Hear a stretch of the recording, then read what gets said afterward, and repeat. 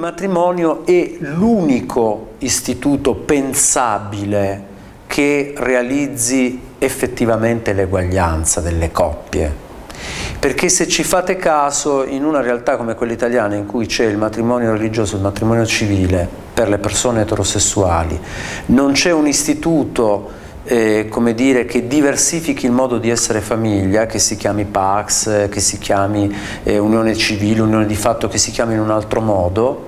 le persone gay o lesbiche hanno una sola modalità possibile per realizzare l'eguaglianza, che è esattamente quella del matrimonio, non ce ne sono altre. Ecco perché l'istituto giuridico di riferimento. La rivendicazione dei nostri diritti è una rivendicazione che non configura un diritto nuovo, noi siamo nel percorso storico che dall'illuminismo ad oggi eh, ha dire, attraversato più di due secoli della storia d'Europa e che ha costruito il principio di uguaglianza, che ha avuto come testimoni di volta in volta le donne, le persone di colore, gli ebrei, le differenze religiose. Oggi Mm, tocca le persone gay, lesbiche, anche le persone transessuali ovviamente e da questo punto di vista se noi crediamo che la battaglia autentica, quella per l'eguaglianza e quella anche per la laicità, senza la laicità nessuna eguaglianza è realmente concepibile, se noi crediamo in questo allora per coerenza dobbiamo dire che l'istituto è il matrimonio. Io non credo che la società italiana sia così arretrata.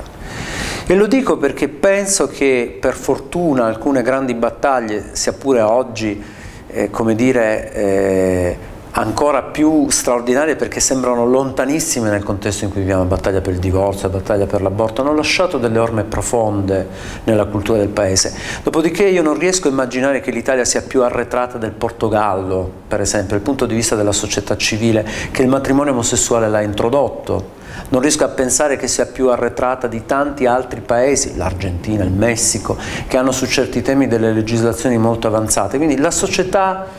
è più viva della politica che la rappresenta. La nostra classe politica nel momento in cui demanda alle gerarchie vaticane il controllo di tanta parte della cosa pubblica, della scelta sulla eh, dire, soluzione di tante istanze che riguardano i diritti civili, riguardano in parte la politica estera, riguardano tante questioni economiche interne, nel momento in cui lo fa dimostra la propria insufficienza. Quindi dimostra in certo senso che il progetto dell'unità, così facendo, eh, fallisce perché noi siamo sottomessi eh, ad uno Stato straniero che detta delle condizioni, che ha coperto dei vuoti